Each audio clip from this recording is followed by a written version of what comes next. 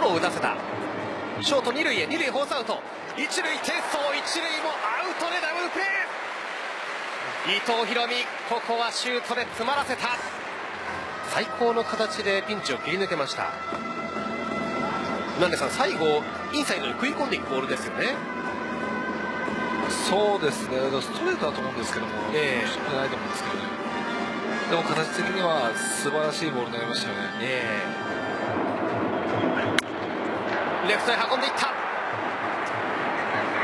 さあ三塁ランナーランナー帰ってくるがタッチアウト、うん、二塁ランナーあの辺りで回しました。これでスリーアウトになりました。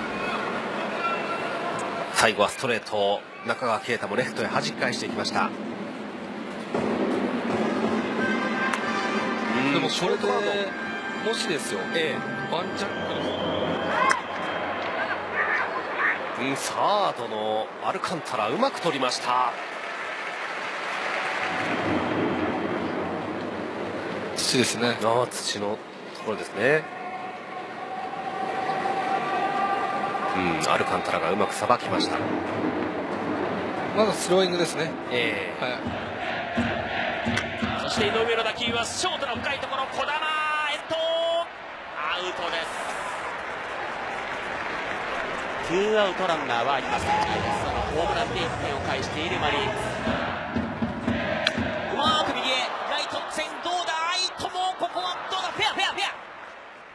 ズ取ってますか。取ってました失礼しましたライトフライに終わりまして最後は。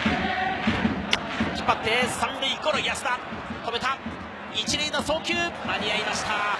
今ピンチ脱出。高いバウンド。サードは無理。ショートこれま一塁藤原の足が速いがそれでもアウトです。児玉今日2つ目のファインプレー。ここはまあ児玉にしてみればノーマルなプレーでしょう。ワンアウト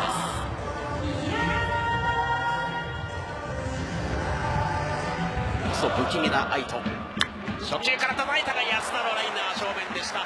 スリーアウトです。いい当たりだったんですがここは安田の正面。今しかし告げにタイムリーを浴びて3対1となりました。三遊間ショート藤岡。二塁はどうだ？アウトにしました。詰まっているどうだショートライナー飛びつきました。ちょっと児玉は左に振られたんですが初球を打ち上げました。内野キャッチャーがまず行きますが風に押されて最後は取り切って離しません告げ風に押される打球だったんですが。